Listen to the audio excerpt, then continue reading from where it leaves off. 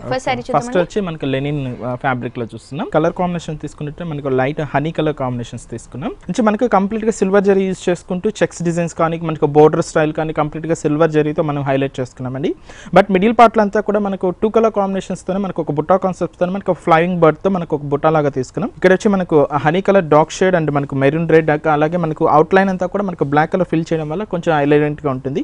అలాగే కింద స్టైల్లో మనకు ఆనంద బ్లూ మిక్స్ చేసుకుంటూ honey colour combination and outline అంతా కూడా బ్లాక్ బ్లాక్ కలర్ తీసుకున్నాం. పళ్ళు కూడా తీసుకున్నట్టయితే వన్ మీటర్ పళ్ళు డిజైన్ చేసుకుంటూ హైలైట్ చేసుకున్నాం. అనేది కూడా ఒక లైన్స్ తీసుకుంటూ కింద టజల్స్ చేస్తూ హైలైట్ చేసాం బ్లౌజ్ కూడా ఏంటంటే మనకు సేమ్ సెల్ఫ్ కలర్ కాంబినేషన్స్ తోనే వస్తుంది. బట్ ఏంటంటే చెక్స్ మిక్స్ చేస్తూ లైన్స్ మాత్రమే ప్రిఫర్. చేసుకుంటూ హైలైట్ చేసుకున్నాం. దీని కాస్ట్ కూడా మనకి చాలా రీజనబుల్గా two thousand one hundred rupees అండి. Okay only two thousand one hundred రూపీస్కి బ్యూటిఫుల్ శారీ ఆర్కే కలెక్షన్స్లో అవైలబుల్గా ఉందండి. ఇంకొక శారీ